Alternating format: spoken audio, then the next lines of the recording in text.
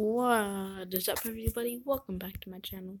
Today, I'm gonna be talking about my CFM league that you guys can join for free if you have Xbox One and Xbox Live and Madden 18. So it's not really free, but if you guys have Madden 18 and Xbox Live, to join my CFM league, just search up G Strong Gaming, capital G in both. I don't think that's the space. And password is sub. Okay. That'll be it. Just go to my league and then just hit the sub button.